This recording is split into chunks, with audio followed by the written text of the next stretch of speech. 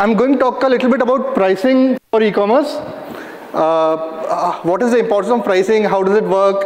And a little more about marketing research and the kind of work we do in digital marketing, uh, more towards research.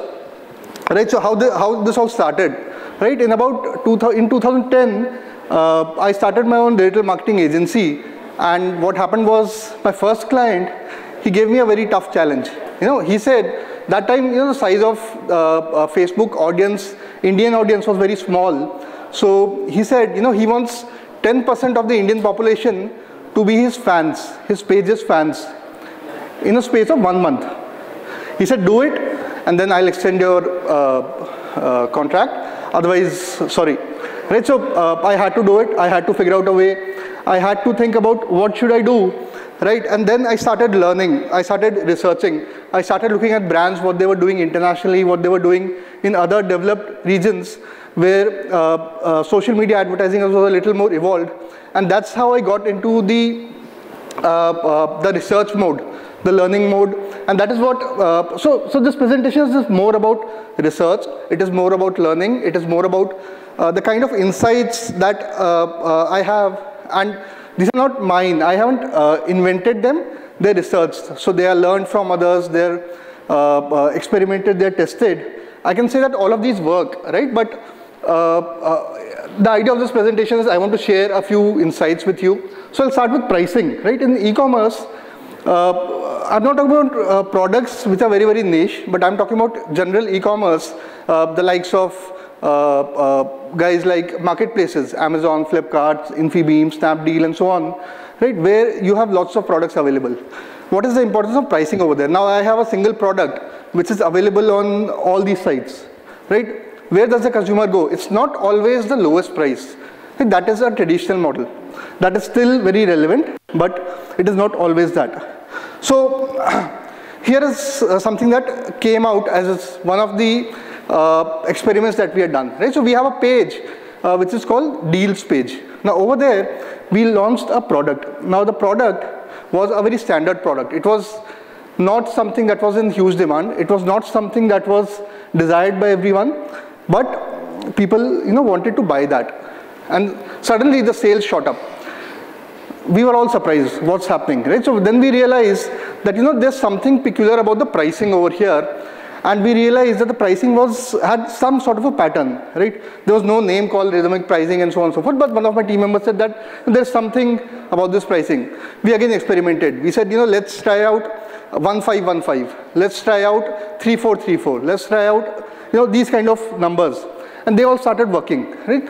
So somehow we realized that numbers have something which is emotional about them, right? Numbers is not just a number. It is not just mathematical. It is not just scientific. It is also emotional. So what happens is that, you know, each and every number has a font associated with it. It has a color associated with it. It has a size associated with it. It has positioning, left side, right side. It has context, where is the number present and so on. And all that adds to a lot of emotion around the uh, numbers. Right? So that's, that's what we started playing around with, pricing. Now, in this example, uh, so what we, what, what all of us know is that, you know, today the consumer is very, very smart, right? He sees discounts everywhere. Now, discount only is not enough for a sale to happen. What needs to happen is that, you know, uh, a customer says, you know, uh, I, I have a discount. Some of the people will come and buy.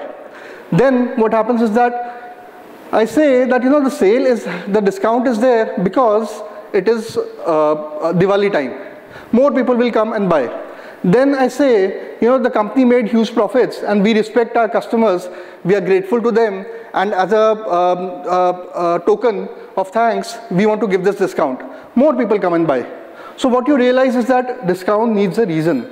If there's a reason, more and more people will come and buy. Another thing that you notice in this example is that the two discounts, one on the left and one on the right, right, there's a small difference between them. One is an absolute number and one is a percentage. So what we said does, what should we promote? Should we promote 20% or should we promote 20 rupees? So what we realize is that the number has to be bigger, right? If 20% is bigger than 10 rupees or if 20 rupees is bigger than 3%, always promote the number because that has a bigger impact and that is what should be promoted. Another example that you see over here is the placement. 64 rupees is placed towards the left and 90.50 is placed towards the right. Again, the lower number is, the smaller number is always placed towards the left. That's what has worked for us. The bigger number is placed towards the right. That again has worked for us.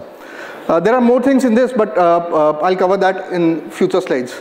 Now, what has happened is that customer has also become very, very logical. He says that he wants to justify every sale, right? All of us want to justify our sales. I go, I purchase a shoe and I justify it because, you know, I'll be able to walk more comfortably. Everyone justifies the sale. Now, what we said was, we want to justify it for the customer because if we have justified it, he doesn't need to take the pain of justifying, he'll simply go and buy it. So we have this example. Uh, it's a fair price. That's what we call it. 24 hours delivery, monthly supply of 30 days, only a 70 rupees per month. Can any of you take a wild guess and say why this would be fair for a customer? 24 into 30 is 720. It's a simple calculation. Everyone thinks that, you know, fine, it's logical, it's fair. Only if you go into the details, you realize that 24 hours delivery has got nothing to do with the price, the product, the anything. It is just that we are going to deliver it in 24 hours. And it's the mind connects so fast that it says that 24 into 30 is logical. Fine, it's a fair price. Another example, I don't know if you can read all of that, but you don't need to read. You just need to read the numbers, the price over there. Right here, uh, it's the same uh, Apple iPhone, and here is the same Apple iPhone. Two different variants, two different variants over there, right? Now what happens is that when we place these products, right, people want a reason to buy. They say that, you know, over here, uh, uh it's a rose gold and a silver model, right? What should we buy? Should we buy that? And here, it's a, red and a gold model. What should we buy? What is better? How do you know what is better, right? In a, in a, phone, it's still easier because I can take a look at the color. In a car, I'm always sitting inside the car, right? So how does it matter whether it's a white car or gray car or blue car or, I mean, it's external. Inside, it's the same. So customer needs a differentiation. What we do is we give him a differentiation, small differentiation in terms of pricing. The red model is slightly overpriced as compared to the gold model. In the other example, there's no differentiation right? So two cases where here there's a differentiation price, here there's no differentiation price, and we want to play with that. What we see is that the sale ratio is this, you know, 125 is to 75. If 125 people would buy this phone, given the same base, 75 people would buy from this selection. That is what again we have seen uh, just because of a small differentiation in pricing. Uh, pricing personality, right? Let me talk a little bit about this. Sorry. Uh, so what happens is that uh, uh, there are actually th uh, three levels which I'll talk about later in terms of communication, but here there are two levels essentially. One is a very logical level and second is an emotional level. In other words, it's, uh, it's either an analytical level or an, uh, a look and feel, a feel good level. There are two kinds of customers. One customer is very detail oriented. He says, I want to buy a Dell Inspiron, I want to buy uh, a laptop which is so much of GB, which is so much of RAM, which is so much of screen size, which is so much of this and that and processor and that, everything. He's very detail oriented. Uh, there's another person who says, you know, uh, I want a sexy looking laptop. I want a laptop that is blue, that is sleek, that looks good, that looks nice and so on. Right. Now once we have identified this kind of a customer through various tools on our website, then we give them different pricing. The person who's very detailed oriented gets a uh, detailed pricing, 53019. The person who is very simple, who's just focused on aesthetics and so on, gets a very simple pricing. And that is what really works for them. Here the conversions are much higher coming to uh, uh, the most important part of an e-commerce site, right? Here is where you make it or break it, right? Here, if you look at this, this is uh, for all those who have studied the sales funnel, uh, I'll relate it to that, right? What happens is if you uh, read line by line, you have 5 million customers, satisfied customers. So this says that on our website, we have 5 million satisfied customers. We have 50,800 customers who have viewed this product. We have uh, the rating of this product is 11,343 on 35, uh, 13,500. Then there's a price, a rhythmic price 7575, and then the final discounted price of 6060. Uh, you have the buttons and so on, right? The objective of adding so many numbers, right? I have 5 million, I have, I don't know what happened. I have 5 million, I have 50,000, I have uh, 11,000, 13,000, so on, is I want to make 6060 look a very, very, very small number, a number which people will not care about, right? Otherwise, if you look at, you know, I have to buy something worth 6,000 as a standalone number, it might look big. Here the number looks insignificant, you know, that is what I want. The other thing which I've done is the color of the number is red. This is something that we have noticed for males. Males uh, prefer to buy when the pricing is in red. The, there's, there's, a higher chance of conversion. And all this is backed by data, right? We keep on experimenting, we keep on checking what color is working, what size is working, even the size is smaller over here. Another thing which you would have noticed is that besides 6060, there's no rupee symbol. Rupee symbol is only there, right? Because we just want it to look like a number. We don't want it to look like, you know, uh, something that you have to pay out of your hard-earned money, right? Other things is that, you know, if you look at on the uh, right hand side, you have the standard discount over there, 20% off, that's fine. You have only three units left. That is to create a sense of urgency, right? So, for example, if you shortlisted this product, if you like this product, then you would essentially want to buy it very quickly, right? Uh, pay less than 6 rupees per day.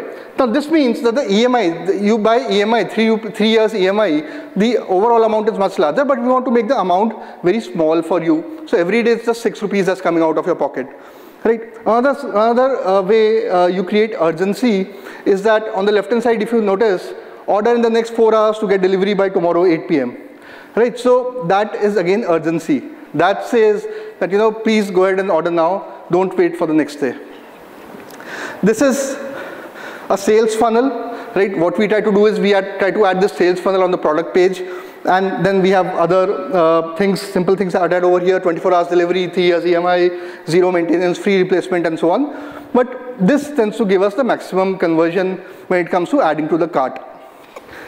Uh, now what happens is that when we when I started uh, uh, experimenting and playing around with all these pricing numbers, I realized that it's not just pricing. There's a lot more that can be researched and a lot more that can be documented. Started documenting a few things. Uh, first, so I, I, formed a few rules because I didn't want to document the entire thing. The first rule uh, that I had was, you know, as a as a consumer, if I know that you know I'm being marketed to, I get put down. I don't want to see that. So I will focus only on those things where the consumer doesn't even know that he is being marketed to. And I have a few examples over here which I'll share with you guys. Uh, a very simple uh, debate that uh, happens in e-commerce business is should I have the product first and then the pricing or should I have the pricing first and then the product? Right. So uh, uh, we also had this debate, right? We said that let's look at retail. What happens in retail? In retail, you have two types of stores. One is the Walmart kind of stores, where you have products, and then you have everything over there. Second is a dollar store, where the price is fixed, and then there are products in there. So you walk, you walk into Walmart, you pick up the products, you look at the pricing, and then you purchase it. That's the purchase cycle. In a dollar store, you know the price first. You know it's going to cost you a dollar. You walk there, then you select the product, and then you purchase there. Now, coming to e-commerce, how do we uh, uh, implement that? We create pages. We create, you know, uh, uh 199 rupee stores, 599 rupee stores, 99 rupee stores, uh, deal stores, and so on, where the pricing comes first and then the product.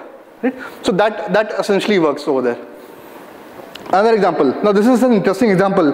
What happens is that uh, uh, I don't like, and, and, none of us like, uh, when a customer comes, he comes to us, he says that, you know, uh, so taking a very traditional example, he comes to my shop, he says, bhaiya ye dikhao, bhaiya ye dikhao, show me a sari, show me this, this, this, spends two hours and walks away.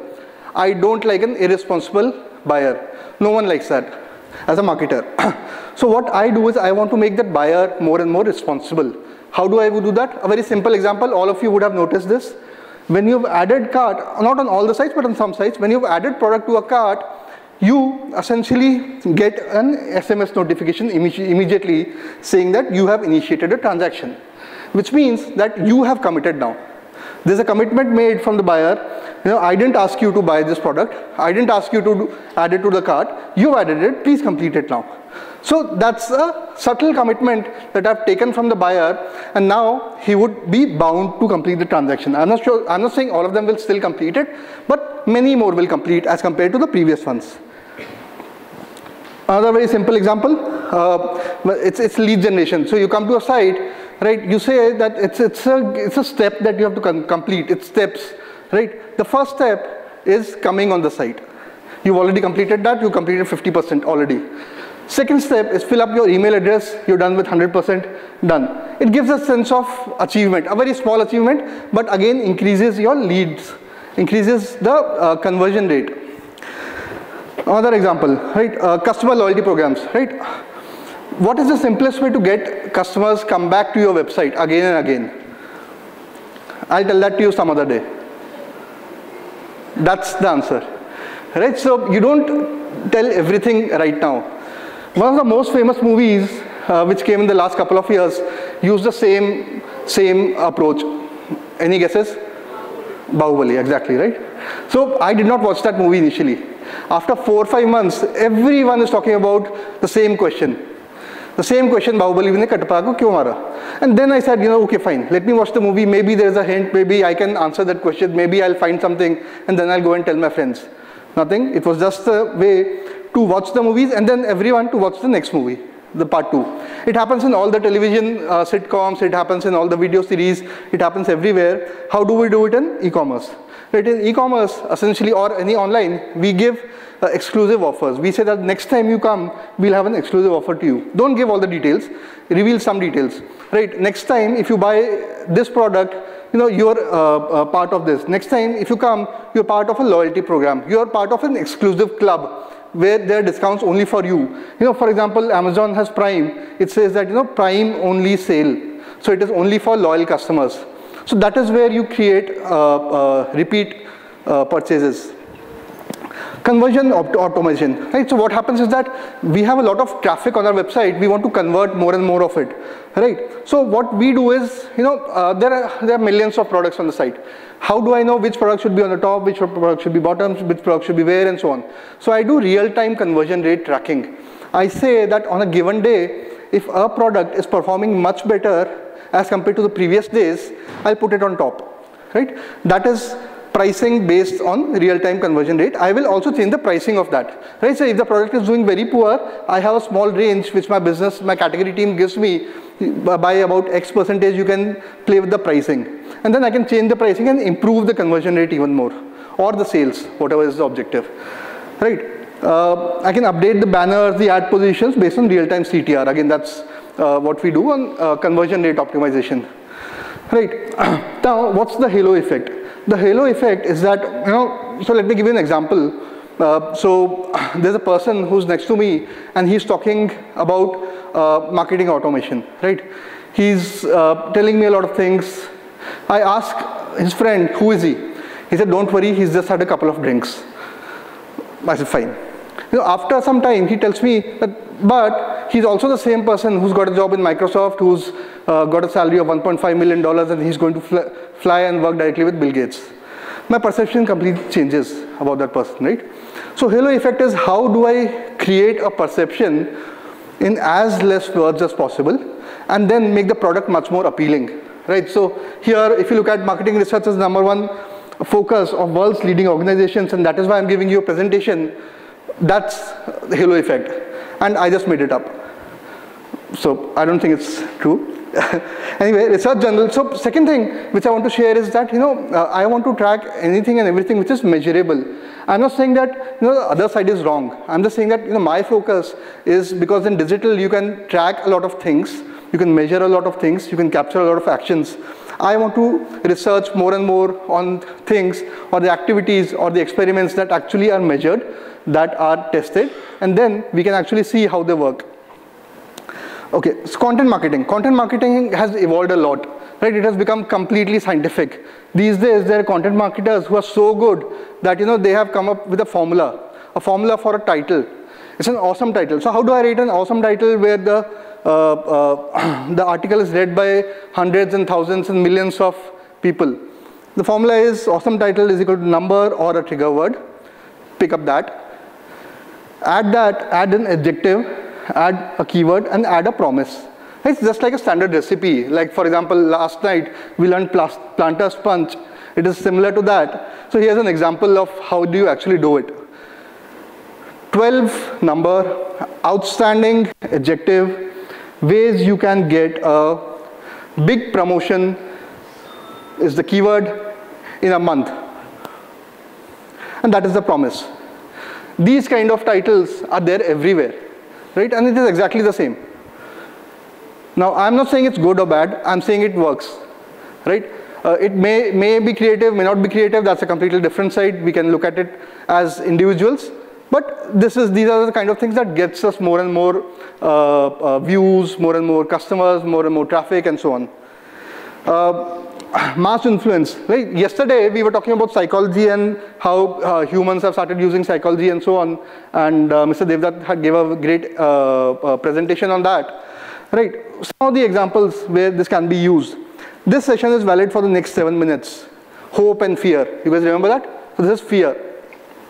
Very good example of fear. The price, availability can change after that. In simple words, you know, complete the session or I'm going to shoot you.